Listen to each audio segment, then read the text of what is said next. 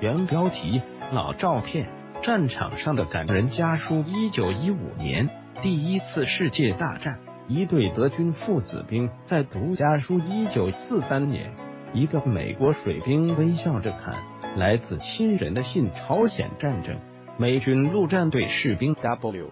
Harper 的父亲在读信，信中描述了战场的残酷。一九六九年，越南。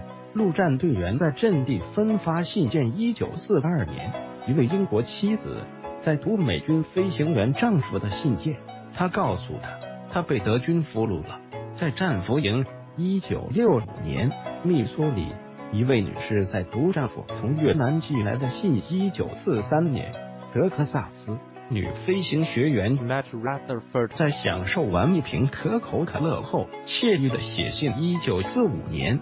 一位酷似猫王的美军士兵在上铺写家书。一九六六年，这位妻子担心她的丈夫，她的飞行员丈夫在越南被越共击落，飞机被俘。他每周都会寄来一封信。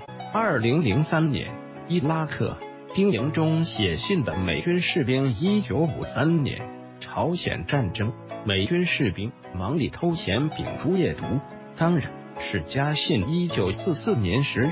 英国一个家庭，祖孙三代，妻子在读信，丈夫在战场。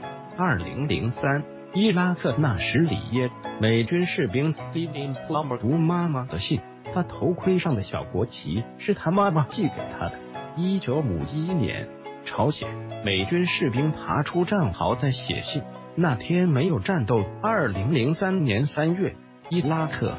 美海军陆战队士兵 Kevin 带着对家人的美好回忆写家书。